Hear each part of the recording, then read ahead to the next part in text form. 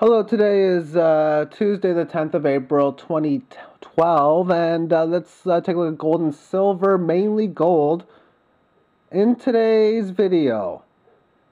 We've been taking our sweet little time, as I've stated before, to either A, hit the 30, or B, make this bear trap, or a failed breakdown.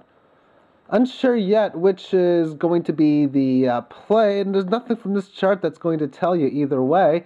Right now, the uh, 6:50 p.m. Eastern time, so it's actually the 11th of April in Europe, and it's down about 15 cents, 31.66. Again, that's telling you nothing for what's coming into the horizons over the next so many days or weeks. But what we have seen is that this previous level of support is now resistance.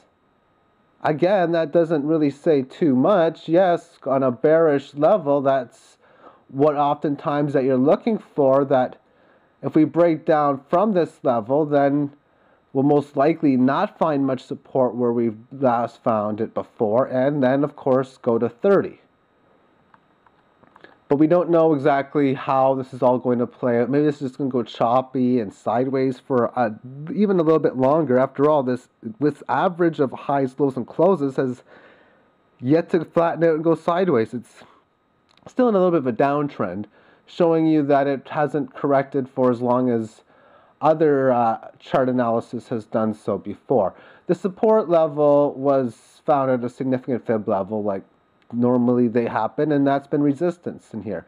More often you test significant levels, the more likely it is you take it out. So coming up towards here increases the chances you uh, break this level and then regain the bullish momentum that started at the end of 2011. And uh, a move to 30 just says that we're at a significant test or an area where we usually find a bounce. And if this level fails to hold and we stay and hold below it for more than a few days, then this entire rally becomes that of a failed move and price action to state that we're probably going to go back down to $26 per ounce. That's uh, still looking a little bit ahead of schedule, and if it does that, there's, there's to me no way of telling either way. It's pretty much impossible for me. But uh, what I would I would expect that it's probably got a better chance of going to 30 before it goes to what's that downward before it goes to like even 33 and a half 33.58 type thing.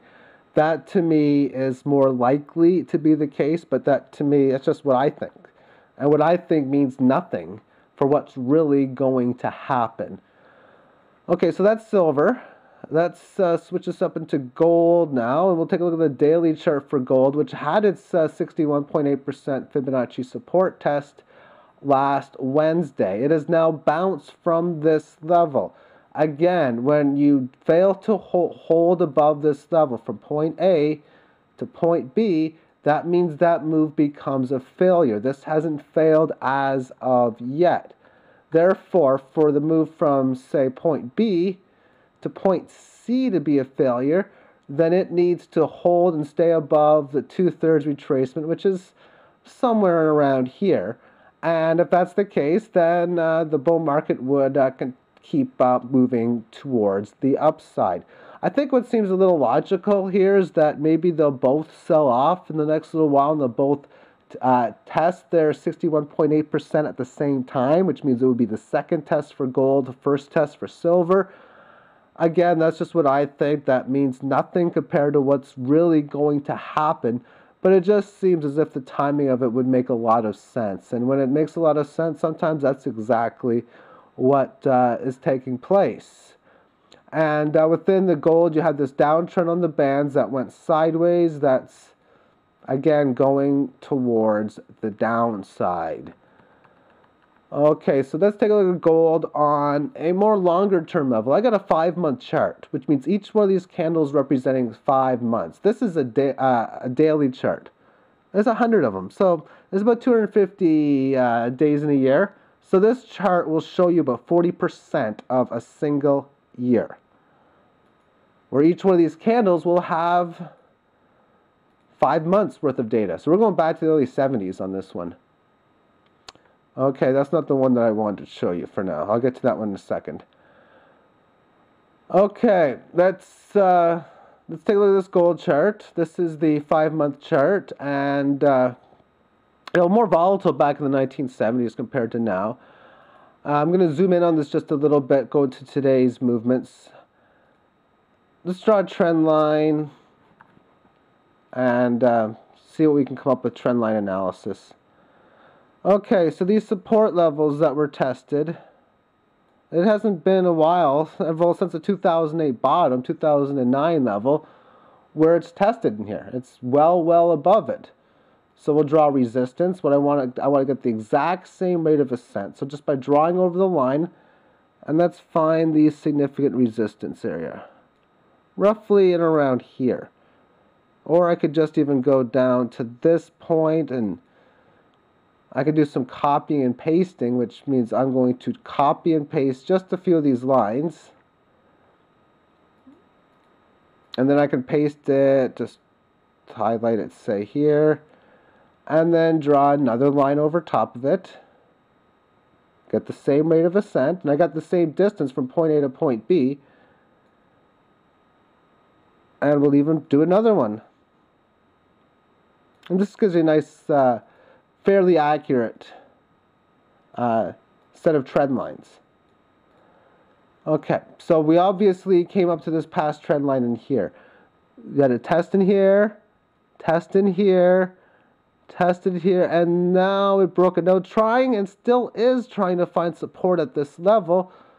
And again, if it comes up and tests these this upper band again a few more times, then maybe it's going to break free higher. What does it mean when you have upside breaks within this type of uh, trend? It means the rate of ascent is going higher. I'm going to put this back into its normal view. Let's look at this upper band for a little bit here, which was tested here, tested here, and tested here. The more often you test at a significant level, the more likely it is that you take it out. Therefore, if uh, we have a test of this upper band without much of a correction, which means holding above 1400 or so, going sideways for no less than the next year or two, and then making it up to this uh, band probably should mean that the thing's ready to explode. And uh, now let's go back to some older Fibonacci, Fibonacci from this high, this low, because back then it would have been important. And uh, therefore, we take a look at uh,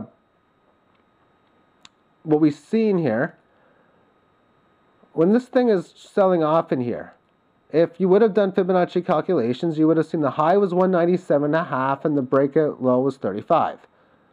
Therefore, the first Fibonacci support level was 101.98. That was like almost a 50% reduction in price. Almost. And on August the 25th of 76, the price at 103.50. And I'm using LBMA numbers up until like September of 92. So I only get two uh, levels per day. So maybe it was an exact hit or even a closer hit, even though it was still pretty much right there. Support was found. And then you came back up here, broke through the resistance, and the prices went higher. I've got Fibonacci upside. What you do is you connect a high, you connect a low. And when the markets go higher, you take the difference of the price, which is 197.5 minus 35. That gives you 162.5. You take that number, you multiply the percent, and you add the low to it. So the first upside level was roughly about 300, somewhere in around right in here. How much resistance did we find here? The answer was none, at least not on this time frame. It did find support there on a couple of occasions, but uh, other than that, that's all it was. But when you break through a resistance level that you're supposed to go to, if you don't find much resistance there, the book tells me that we're going to the next one fairly easily. Well, that's exactly what happened 460 in or around that area, which was this time it was resistance. So support just played in this band. Then it tried to go below the support level and finally broke above it here. So the failed move created the fast move. And I've said in many videos too that when the market's in a correctionary phase, that oftentimes they'll do the opposite move of what's really going to happen. So if the first break is lower, it's going to go higher. If the first break is higher, it's going to go lower. That was the case in here. The next level was 723, which is somewhere up around here, which happened to be where you had the top in here, your top here, a bottom in here, and then after that we had 1150. Well, really not much resistance in here, which tells us we're going to the next one, which was 1835. And we've already settled in from that level already, going about 1920 or so. So these upside levels have uh, worked out fairly well. The next one breaking the 1835 is close to 3,000 per ounce of the US fiat currency. Let's take a look at the next Fibonacci retracement level, which uh, which takes us from this high to this low. It took its sweet little time to make it to the uh, Fibonacci level of 251.30. And when it did, in August of 1999, which was almost two decades after the top, it found support at exactly 41, excuse me, 39 cents from where the Fibonacci level happened to be. That's just remarkable in my opinion. And when we take a look at that type of movement, it was slow and it took its sweet time, but it happened. And that's why I say with silver, the daily chart, it's taking its sweet little time to go to 30. And I'd be saying it even here, it's taking its sweet little time. And it took a heck of a lot longer, of course, to uh, make it there. But it did. It bounced from this level. And then the next significant two levels, which was one previous resistance, it got by that fine. And consolidated within this top in here. So whenever you have a situation where you go to a previous top in any chart, or bottom for that matter, you have this move and then you just, I don't know, you do something like this. And, and then if you start to see a pattern like this, where it's going sideways where it was resistance, then that can be a very bullish uh, pattern to look out for. Of course, the market continuously went towards the upside from uh, that point on. Okay, I'm going to end today's video. So thank you for uh, tuning in and uh, have yourself a great week. Bye bye.